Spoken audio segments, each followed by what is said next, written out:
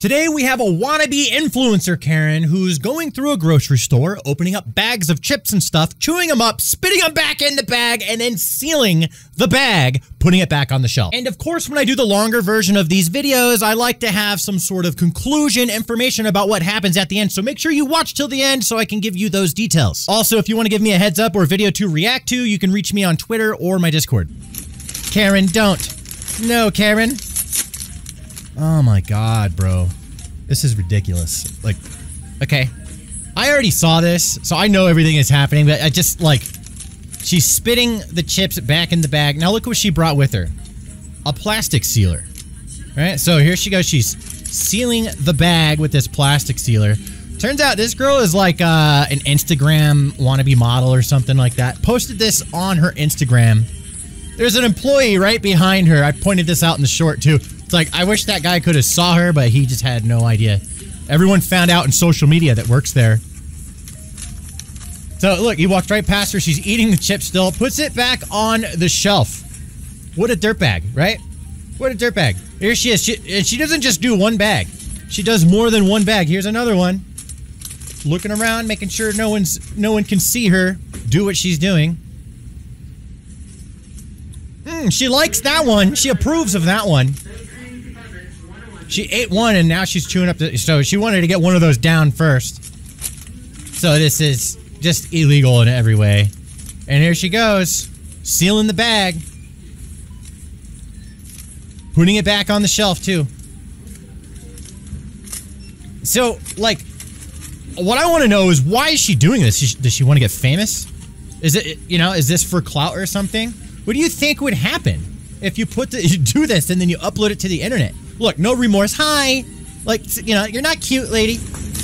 There's another bag of chips. I don't know what it is with the bag of chips.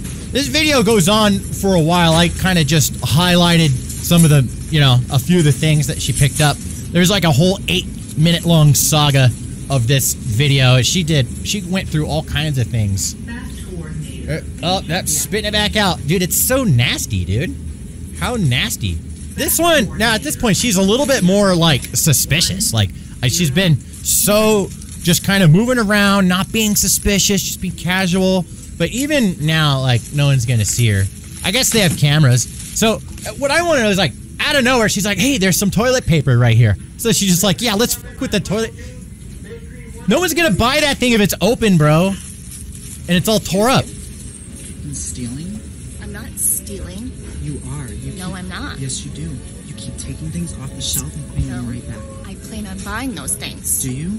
Yeah, mind your own How business. How are you going to remember where everything's at? I remember where I put it.